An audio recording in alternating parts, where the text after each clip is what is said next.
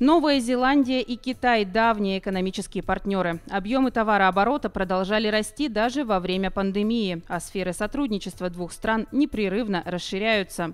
Так, новозеландская компания, которая уже полвека разрабатывает медицинское оборудование, сейчас строит первую производственную базу в КНР. Ожидается, что объект в Гуанчжоу введут в эксплуатацию до конца года. Китай – это огромный рынок, который обеспечит долговременный спрос, а потому привлекателен для предприятия.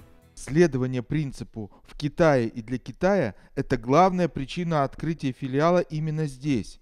Китайский рынок медицинского оборудования занимает второе по величине место в мире и продолжает расти. Экономические связи между странами начали быстро укрепляться после заключения двустороннего соглашения о свободной торговле в 2008 году. Оно стимулировало сотрудничество во многих сферах, от туризма до поставки продуктов. Даже пандемия COVID-19 не нарушила взаимную бизнес-коммуникацию. И Китай и Новая Зеландия ввели серьезные меры для обеспечения безопасности в пандемию и не отступали от них. Давние отношения помогли поддержать бизнес, но что более удивительно, мы наблюдали рост двухсторонней торговли в непростые времена. Новая Зеландия – первая развитая страна, которая заключила соглашение о свободной торговле с Китаем. За прошедшие с тех пор 15 лет КНР стала крупнейшим торговым партнером островного государства.